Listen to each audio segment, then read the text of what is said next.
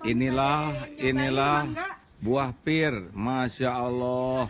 Di dunia aja sudah begini indahnya, gampangnya. Ini tidak tinggi ternyata hadirin. Nah begini.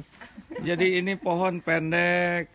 Ternyata buahnya rindang dan ini set. Oh ini buah apa? Apel, masya Allah. Maha suci Allah yang menciptakan buah-buahan. Ini juga pendek saja pohonnya, masya Allah, masya Allah. Mana lagi pohon apa lagi? Oh, ini ternyata lemon. Ini, oh, bayangkan ini buah-buahan jeruk, masya Allah.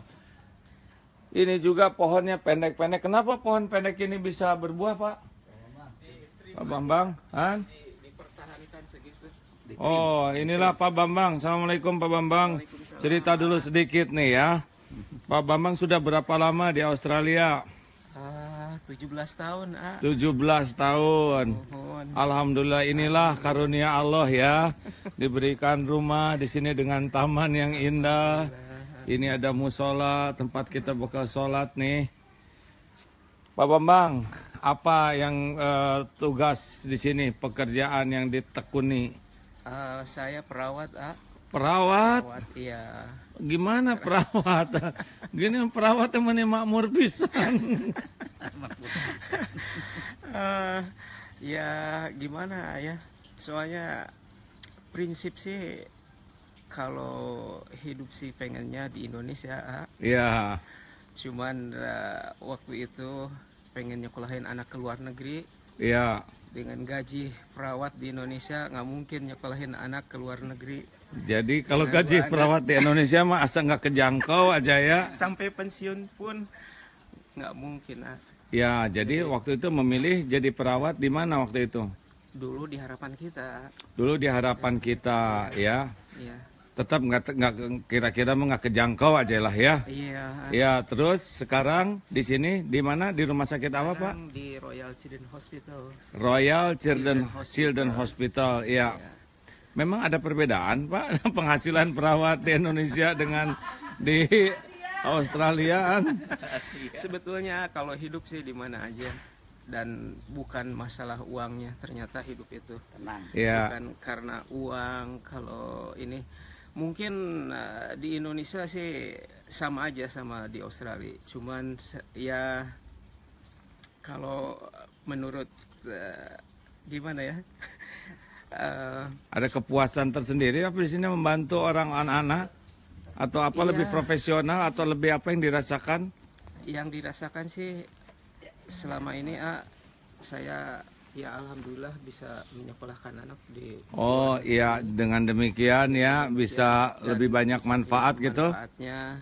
Cuman tetap aja was-was ah karena di luar negeri juga banyak tantangannya. Hmm. Untuk eh, membesarkan anak tidak mudah ternyata. Dengan lingkungan Dengan seperti lingkungan ini ya. seperti ini ya jadi kita betul-betul memang harus ada dasar. Harus ada harus dasar dasar agama yang agama kuat yang supaya kuat dia siap supaya gitu dia ya. siap, tidak terbawa sakama-kama ah. Tidak terbawa sekama-kama. Baik baik. Ada punya pun- putra berapa?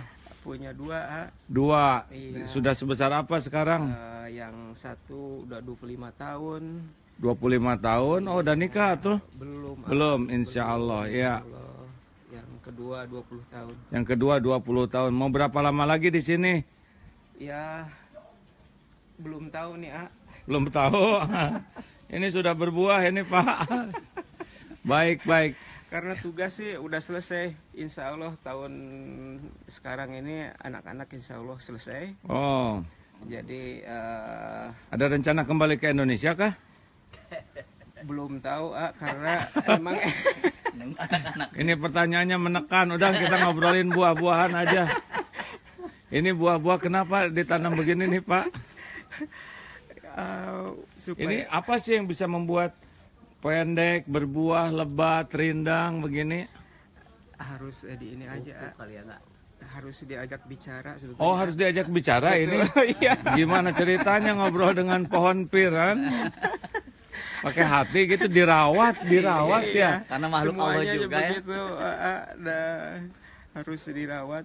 Kalau nggak dirawat ya mungkin nggak ini ya nggak maksimal. Ih, tapi ini menarik ini ya.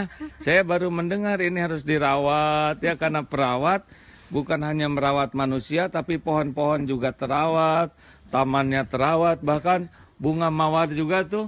Oh, lihatlah coba. Oh, lihat ya. Sini ada sini. Terawat semuanya, masya Allah, masya Allah. Ini mungkin ilmu merawatnya diaplikasikan di dalam segala sisi kehidupan ya. Dan diajak bicara. ah. Dan diajak bicara, gimana aja Pak ngobrol sama buah, buah apel dan pohon pir. aduh aduh. Ya, intinya masing pakai hati gitu ya. iya ya harus inilah harus bang blas ah harus eh, betul-betul apa pun kita harus tekunin Apa pun ditekuni dengan hati gitulah ya. Jangan setengah-setengah. setengah Alhamdulillah. alhamdulillah Ya, dengan demikian berakhir obrolan kita karena baru masuk waktu duhur ini di Australia di Melbourne ini.